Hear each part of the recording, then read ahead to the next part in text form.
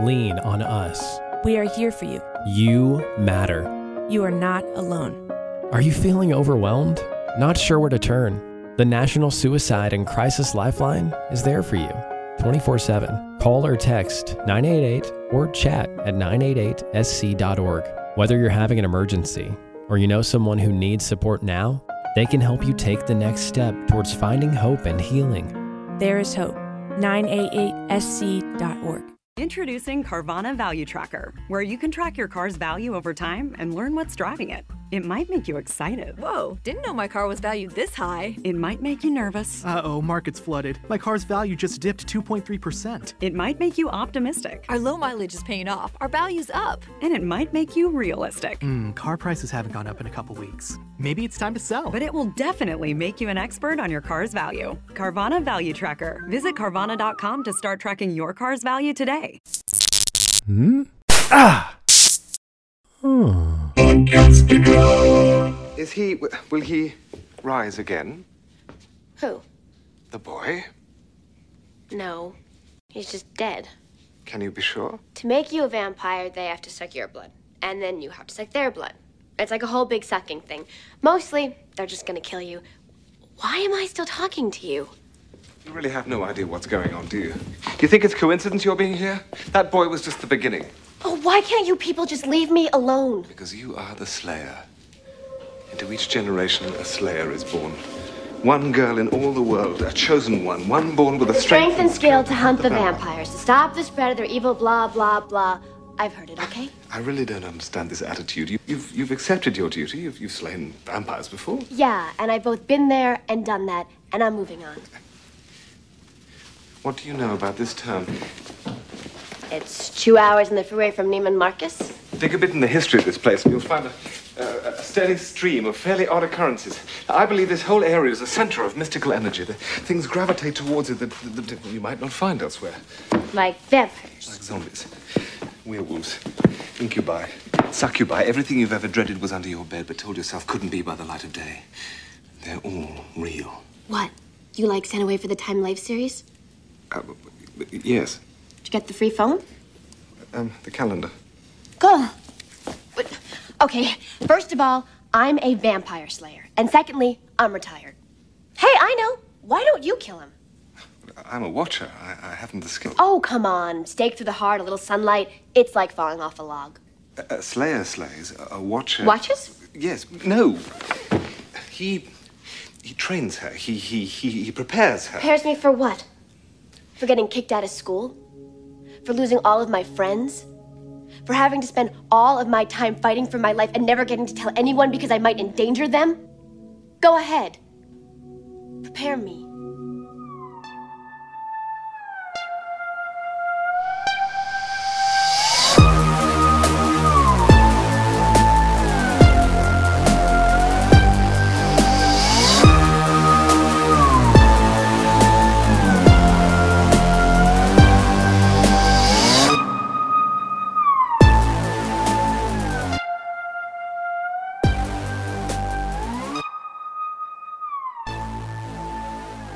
Hello, everybody. Welcome to the podcast. I'm Penny, And I'm Kara.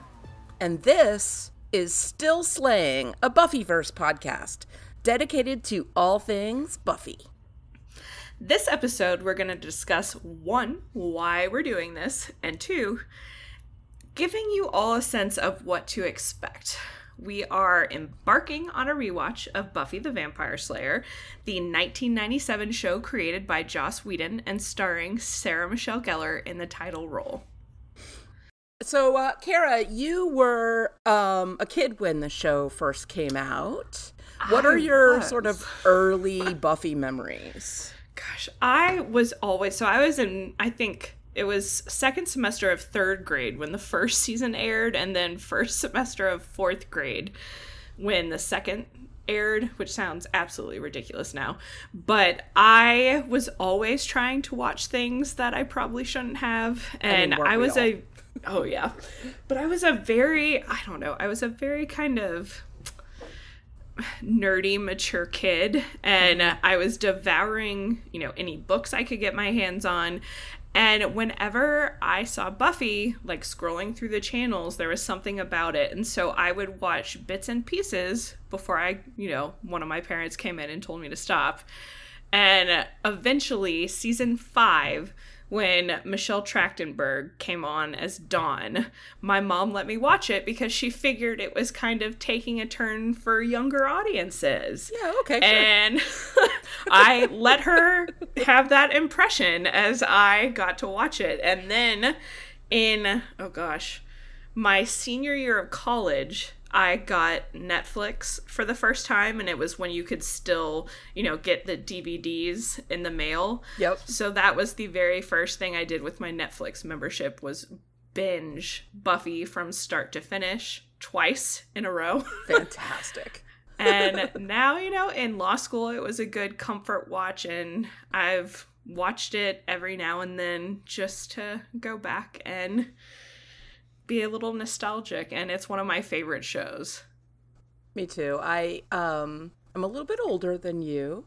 So when uh, Buffy first came out, it was right before I started law school, and the first, you know, few seasons were on when I was in law school. So I didn't have time back then to watch much TV.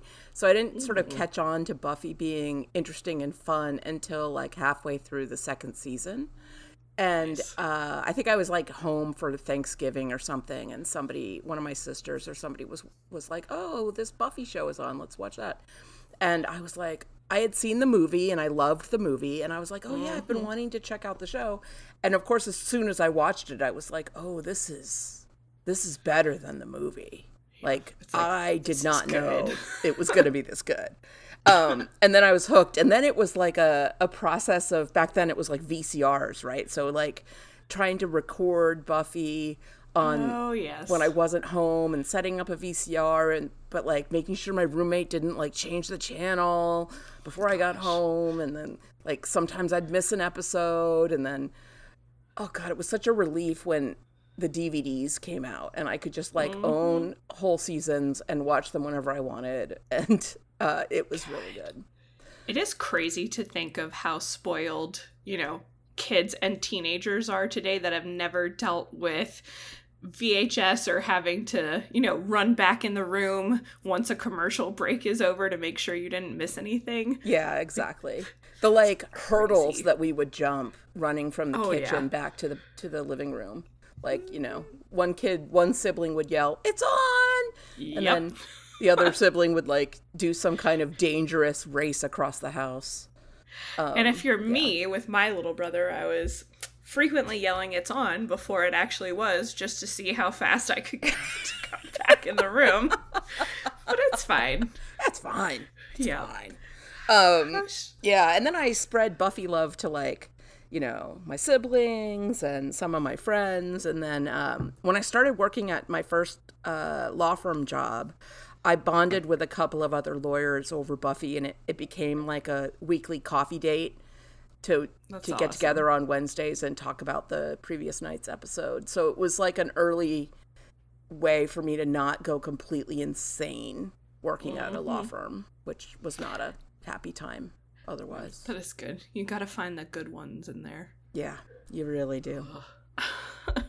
um so yeah, Buffy. And then, you know, so we're going to talk about what we might as well just talk about it right now. Um, mm-hmm. you know a few years ago charisma carpenter came out and and said some things that happened to her when she was on buffy and on angel and that joss whedon you know just treated people badly and was a giant jerk. And yeah. for a while i it ruined my enjoyment of the show and i didn't rewatch it for a while. And then yep I started thinking about all the other people who made the show and worked on the show and all these actors who poured their heart and soul into it, the other writers, the producers, the directors, and I was like I'm not going to let this like jerk ruin something that is important to me. Buffy was the first real right. female superhero character. Um, mm-hmm. you know, like before that we'd had like the Lynda Carter Wonder Woman like policewoman. There weren't a lot of of leading ladies at all, and then to have one who was powerful and feminine yes. and vulnerable and funny mm-hmm. and you know, had friends and had flaws. I she was so real and so whole. And then the mm-hmm. show was so quippy and funny and sharp. I just it, it was important to me and it still is and I'm just not willing to let stupid Joss Whedon, you know, ruin it for me. So what we're going to do is just like he's the one of the major creators of the show. He gets a lot of credit. He's a writer of lots of episodes. He directed a bunch of episodes. But we're just not going to talk about him. Like I like it. Just don't let's not give him any airtime. So after this, I eh. I will say I had a similar, you know, reaction when all of that news came out and I just remember being so angry that this person who had created, you know, this figure and kind of almost role model model since I was so young watching Buffy, I was like, you cannot ruin this for me. Like this is not fair and thinking about you know, once listening to what Sarah Michelle Gellar had to say, Charisma Carpenter, and a bunch of the other women, especially that had been associated with him, and saying that, you know, he is not Buffy, he is not forever tied to us. So it's like, okay, I'll go with that. We Yeah. can just appreciate what everybody else has done. And, you know, I just, I didn't want that taken away from me. It was too important. Yeah, exactly. I mean, I, I think that there was talk for a while of a Buffy reboot, and I think that the news about him kind of killed that. I'm hoping that at some point there will be a Buffy reboot. My personal hope is that they don't completely reboot, but that they just do like a Buffy the Next Generation kind of thing. Like they just, you know, they they pick another Slayer in the future to follow, and that's our hero. But um, I'd be good with that. I think he the only way it's going to happen is if he um, hands the reins over, maybe j- even just to his brother. I've never heard any bad things about his brother. That's Um, true. And he was the showrunner for Agents of Shield, which I loved. I thought it was a great show. Um, so More Buffy in any form, I would be happy. yeah, Really. Just I- anything yeah. in that universe. yeah, it, more Slayers, more Watchers.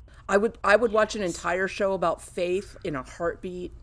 Oh, Uh, yeah. You know, she's so fun. Um, Spike, I would watch Spike forever.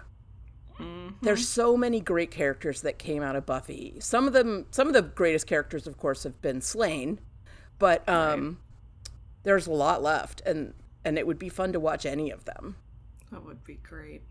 Gosh, I love Spike. I don't think my parents were thrilled when they realized I love Spike. Oh, um, Great. but he just, oh, I, there's something about him. And still, you know, as a 35 year old watching, I'm like, yep, I love Spike. yeah, he's entertaining. He's smart. He's never is. boring, right? He's Never. never, and he doesn't brood. Like Angel's so broody. Yes, he's too dramatic. and I can't. I get why he's broody, and I get why Buffy loves him, but like, mm-hmm. Spike is just so fun. Yep. And sharp and witty. He's just, ugh. Yeah, he's delightful. That's a problem. He and Faith, when I was little, I was like, oh, this should have told me something about myself. How much? like, there we go. Well, you were too young to understand what it meant, but It's yeah, true. those were the early signs of your true personality. Yep. At 35, now I'm like, oh, okay. yeah, This all right. I do like the bo- those bad boys. Oh my goodness. Yeah. So, um so the show came out in 1997 and back then a TV show was only successful if it was on you know, a network and it was broadcast 20 or more episodes a season. So there's the first episode, season of Buffy is 12 episodes because it was a mid-season replacement. And then after that the seasons are 22 episodes long. There's a lot of filler in there. Mm-hmm. And so we're going to try something that I I haven't listened to another podcast that's done it this way, but we're not going to rewatch every single episode. We're going to just focus on the ones that we're excited to talk about. So you guys don't have to listen to any episodes of the podcast where we're like, uh, I guess I liked the outfits they were wearing. Like we won't be Yeah. forced to come up with something to talk about because we're going to focus on the ones we love.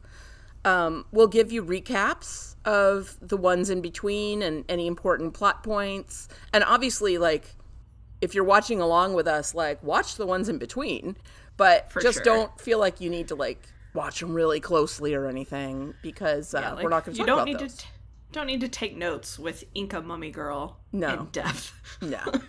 um, although that's a pretty fun episode. I Um, do like that episode. and you can send us feedback about any episodes, um, or if we're not covering one that is like your absolute most favorite episode, like let us know. Uh, nothing is written in stone. Things are always subject to change. I will say, like, I don't know anybody, nobody in my life, like my real life, I'll say, is a huge Buffy fan. So I want to know what everybody thinks. Like, I cannot wait to talk to you and hear what other people think about Buffy because nobody lets me nerd out about this in real life. I know how that feels when you're like a, a lonely nerd fun. all alone about something. Yeah. Yes. you need you need a community to talk to about it. That's how I found Podcastica. I was trying so hard to get my friends to start like just an email chain about Handmaid's Tale. And like Oh, yeah. I couldn't get it going. Even the ones Oh I knew were watching the show. And then um, I had already um, heard Jason and Lucy talking about Walking Dead. Uh, Mm-hmm. At that time, I was listening to like two or three different Walking Dead podcasts. But then um, when I realized that Jason was coming out with a Handmaid's Tale podcast, I was like, oh, that's really exciting. Nice. And that's when I started sending in feedback and getting like really involved with Podcastica. The rest is, you know. Mm-hmm. I remember your feedback for Handmaid's Tale. Like, you always had really good feedback. Awesome, thank you. that was the first way I was like, I now I know Penny's name, and then you started popping up more and more, and that actually part like that was a big part of why I started sending in feedback because I listened. Oh gosh. To Jason and Karen, probably the I think it was the third episode of their podcast that aired, and I just never wrote in. I was like, no, like I'm just gonna listen to what everybody else has to say, and then maybe like what eight years later, you started writing in. I started writing in. I was like, okay, I'm gonna do it, and now here we are, And here we are. which is great. Uh, we are very excited about this project, and um, I am hoping that we're going to meet a lot more Buffy fans um, in the Podcastica listener family, and maybe uh, get some people from outside the already existing Podcastica listening family. For Um, sure. Tell your friends, you know, and really, we want it to be a conversation. So please send feedback in. The more people who participate, the more fun it is for everybody. Um, and if you have like really out there opinions, like throw them out. That's that's the best. When somebody writes yeah. in with like a completely bonkers opinion I've never thought of before, it just makes me so happy. Or calls in, voicemails too. We love those. Always. Um, so uh, we're gonna start. We're gonna. This is gonna be controversial, but we're gonna skip all of season one. Season one is mostly just not that great, Oh. And there's a few plot points you need to know, but you really don't need to watch season one. Like, her name is Buffy. She lives in Sunnydale with her mom. She's the vampire slayer, which means she has supernatural powers of being strong, fast, good at fighting, etc. Uh, she has a couple of nerdy friends, and um, the school librarian is also her watcher. Um, A watcher is like a member of like a uh, sort of like a brotherhood of stuffy, nerdy people in England who study demons and vampires and you know the forces of darkness and and um, they have these uh, some of them have this role of watcher where they're teamed up with a slayer and they sort of guide mentor train etc the slayer. And uh, buffy's watcher is named rupert giles. Um, if you are a first time buffy watcher you may recognize him from ted lasso where he also plays rupert uh, rupert mannion or you might recognize him from pre Buffy when he was in the incredibly successful Taster's Choice coffee ads. No, International Delights coffee ads? Was it Taster's right. Choice? anyway, there was these coffee ads, and they were a love story, and they were a series. So you had to watch all the ads to get the whole story of this romance between Anthony Stewart Head and um, I have no idea who the actress was who played the other person in the in the pair. And they were like big news back then. They were the first ads that were serialized and like people talked about them. They were like, "Oh, the the coffee couple, what do you think's going to happen?" Because it would be weeks between an, each new ad. It's fantastic. So fun. And then when he showed up on Buffy, I was like, "Hey, that guy's familiar to me." I've seen him on coffee commercials. Oh um, gosh. Yeah, he's great. He's also done an episode of Doctor Who and some other things. He's much more known in, in Britain than he is in the US, but he will always be Giles to mm-hmm. to those of us who love Buffy. Oh yeah. I guess the another important thing would be to note that Sunnydale happens to be on top of a hellmouth. That's a really Just, good point you know like yeah. which i guess i'm imagining that most people who are tuning in and tuning in that dates yeah very much so that are listening to us uh, have at least seen buffy or might be familiar with it but if you're not the idea of the hellmouth in sunnydale is that it is you know essentially is sort of a portal between you know earth as we know it and this other kind of you know hell dimension where you have all these demons and other creatures. And it's just kind of perfect that Buffy happened to move to Sunnydale where this Hellmouth is because things get a little extra supernatural and intense around the Hellmouth. Yeah, it has a mystical energy that acts like kind of a funnel and draws, you know, creepy crawlies toward it.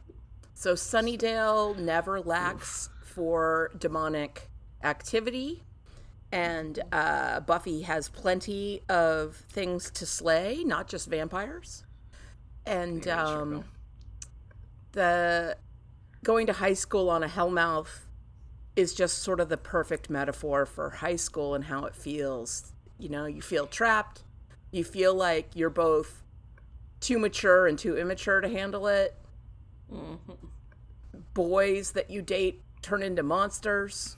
Other students turn out to be monsters. Teachers turn out to be monsters. Like, mm-hmm. there's a lot about high school that's demonic, and uh, we're gonna dive into all of those things. I love looking back on that now, being far removed from it. like, just you know, for our listeners, I just started rewatching the show, and I think the last time was maybe four years ago, and already I feel like I can appreciate it in a you know in a different way than even four years ago. So I can't wait to get into all of the themes that pop up. It's going to be so great. So the first episode we're going to cover is season 2 episode 3. The title is School Hard and uh, it's parent teacher night at Sunnydale High School. And uh, Buffy's mom is going to meet Buffy's principal for the first time, and she's real nervous about her worlds colliding. Um, and of course, you know, wacky hijinks ensue as they always do. uh, so that'll be the first episode we cover. That means, of course, we're skipping the first two episodes of season two, called "When She Was Bad" and "Some Assembly Required." It doesn't necessarily mean that those episodes are bad. It just means they they're not as interesting for us to talk about or as like sort of important to the overall arc of the show. Um and then um after School Hard, we're going to skip Inca Mummy Girl and Reptile Boy and cover season 2 episode 6 Halloween, which is another one of my all-time favorite episodes of the show. It's so good see. After Halloween, we are going to be jumping a few episodes to Ted. And, you know, same thing. The episodes in between, I would encourage you not to skip if you are watching Buffy for the first time, of course, because they have incredibly important plot points. They just might not be our favorites for one reason or another. But we will pick up with season two, episode 11, Ted, which is one of my favorite episodes because we have a guest appearance from John Ritter. And Absolutely classic. Ugh, oh, it's, it's- so good. it's wonderful. And he plays Buffy's mother's new boyfriend, Ted. And everyone seems to love Ted except for Buffy, who is very suspicious of him. And of course, we're on a Hellmouth, so we understand why. And we get to see how that unfolds. Uh, it's pretty great. Really And then we really agreed very quickly that neither of us wanted to cover Bad Eggs. Um, season two, episode twelve. I can't watch that episode. It gives me the creeps so bad. it is creepy. Um, Like it's just I'll never watch that episode again. So if you're Don't love watching for the first time, like you might not have a problem with it. Go ahead and watch it. I personally can't watch it. Yep. So sorry, we're not covering that. you never know. Um, and we- we're we are going to cover the next three, which are all I think pretty important for season two, especially and the overall Buffy verse. So season two, episode episode thirteen is surprise. And this is another episode featuring Spike and Drusilla, and they are attempting to essentially gather and put together body parts of a demon called the Judge. And they think it'll be, you know, now this ultimate weapon essentially that they'll be able to use to finally def- to defeat Buffy. Um, and there are also some very important Angel and Buffy moments in this episode. Yeah, that's a two-parter. Um, episode thirteen, surprise, and episode fourteen, innocence, are are two parts of the same story, and uh, they're fantastic. They're some of the best episodes really of the show. are. They're really, they're really important. Oof. I feel like I'll never forget watching those for the first time. Probably younger than I should have been, but even then, It's it had an impact. um, and then episode 15, which is Phases, is another very important one for the Buffyverse because we are introduced to werewolves and a very important werewolf ends up coming up in this episode. So we get to see Buffy and the gang. You know, I'm I do say Scooby Gang for people that are not familiar with Buffy. There's some slang sometimes referring to Buffy and Xander and Willow as the Scooby Gang and if you hear me say that, that's why. But we get to see them kind of deal with this new threat and learn more about it. Um, we're going to cover the next two as well. There's uh, episode 16 is Bewitched, Bothered, and Bewildered. It's a little bit of a rom com magic fantasy episode. And then um, I don't want to give away too much here, but episode 17, Passion, is um, exactly that. It's extremely passionate, and uh, it's a big turning point in the season. Yeah, that's a big one. Um, we are then skipping over episode 18, Killed by Death.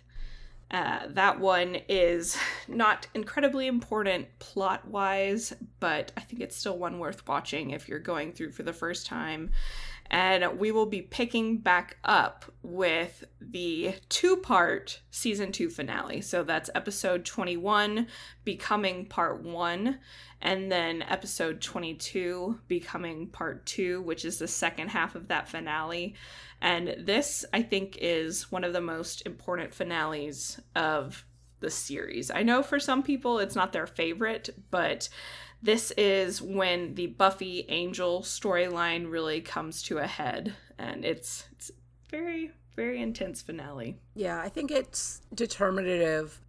I don't think I said that word correctly, but um, it determines a lot of Buffy's future decisions. What happens in the season two finale? She she grows and learns a lot from what happens, and it's uh, it's I guess it's a coming of age moment for her. Very true. Um, very much so. It's pretty great. So obviously, Kara and I both have watched the series before, so we know what happens ahead of the episode that we're in. We're going to try really, really hard to not have spoilers in our main discussion of the episode, but we're going to save them for the end of the podcast so that um, if you are a first time watcher and you don't want spoilers, you can just not listen to that part. We'll try to shove it all into one section at the end, which we are going to call the Watcher's Diaries. Um, and then uh, we don't have any feedback for this episode because it's just our introduction, but when we do, you guys will be listening to that feedback at the Bronze. And uh, a good time will be had by all. Man, like 13 year old me wanted to be able to go to the bronze so bad. I know. So bad. Um, they had some pretty amazing musical acts come through the Bronze. right? Like They Aimee really Mann played the Bronze, Neko Case played the Bronze. Like, That was something else rewatching after, you know, when I was little, rewatching in college. I was just like, holy shit, like, yeah. these are some good bands. How did I miss this? Well, you were too little to know who they were, but It's um, true. and a lot of them were pre fame. There was like people who were on like right before they hit or more indie artists, but some of the music from Buffy is still on playlists I listen to all the time. Definitely. Um, great music. So that's it. That's our show for this introductory episode. Uh, thank you guys for listening, and I hope you're going to join us for this adventure as we head into season two. Absolutely. And if you would like to get in touch with us or find out more about Podcastica, you can find all of our contact information at podcastica.com. And you can write in right from the podcastica.com website. You can record a voice message there, or you can, uh, this is the easiest thing ever, record a voice note on your phone and just email it to us at talk at podcastica.com. And, uh, or just send us an email, or we'll be posting um, feedback comment posts on our Facebook page. There's a Podcastica group and a Podcastica page where we'll post those. There's also a page that's called the Zheads page, and um, that is for members of the Patreon group. If you want to join the Patreon, there's information about that on podcastica.com as well. I got to tell you, the Patreon group is a lot of fun. Uh, There's you know special content, and we have this group that we're a member that we're members of, and everybody like chats with each other a lot, and we have email threads about all of the different TV shows that we all love, and um, people you know post jokes and memes, and uh, it's just a silly, fun group of people. It's a nice, positive little corner of the internet. It makes me happy to have something like that. Yeah, the big So I would- rules in the Zhead group are no spoilers and don't be a jerk. And uh, everybody pretty much follows those rules, and uh, it works out really nicely. It's kind of nice. I will say, if you have not uh, listened to Podcastica shows and you have stumbled upon us and we are somehow the first Podcastica show that you guys have found, definitely give some of these other shows a chance. We cover so many different shows, anything from, you know, I know there's a group covering Ahsoka right now, uh, all the Star Wars shows from White Lotus, Yellow Jackets, um, Stranger Things, when that comes back eventually will be amazing. But Uh, there's also. Wheel of Time is about to come out. Yes. And um, there's going to be the second season of White Lotus. They're about to start. And, um, uh, well, if you want to go back in time a little bit, Kara was on a podcast about the marvelous Mrs. Maisel. And yeah, are you was so currently doing Only Murders in the Building? Yes, we are. It's perfectly marvelous. Only murders in the building, and that one has been very fun to cover. That's great. It's not technically a podcast, a podcast, but it's Kara, so No. we support it. Yeah, Um, it's like uh, yeah. I love in Only Murders in the like it. Building. it is such a great show, and I just want to reach through the TV and like steal all of Selena Gomez's coats. I know. She has the most amazing coats. It's so good. I love her so much. Her and that Mabel in that show is cooler than I will ever be, and I love her so much. Yeah, she's great. Um, and there's so many other shows on Podcastica. It like we can't possibly sum them all up, but take a spin through the website. You'll see there's so many things that we've covered in the past. Like if you're ever bored, there's like probably thousands of hours of podcast listening if you wanted to. And we keep adding shows in the future. If there's something that you think you would like us to cover, like write in. We take suggestions from listeners all the time. I um, cover a show called Extraordinary, uh, which was on Hulu, and in Europe it's on Disney Plus. And that was a suggestion from a listener who said, like, "Hey, this show looks like it's going to be interesting," and Greg and I just were like, "Okay, yeah, sure," and it turned out to be absolutely hilarious, like one of the funniest shows show. I've ever seen. So, um, definitely write in and let us know if there's something great out there that we haven't found yet. We would we would love to hear about it from you, the listeners. For sure. Let's see. Oh, and I was like, where are we? once you've like checked out all of our podcasts like we keep telling you to do if you like what we do hit like follow subscribe leave a rating review tell your friends if you think we're horrible then tell all your enemies and you know that's something you can do for them um, just whatever it is that helps listeners find us because the more the merrier Next time on this show, Still Slaying, we'll be covering season 2, episode 3, School Hard, which is a great episode. I cannot wait to talk to you about that episode. i know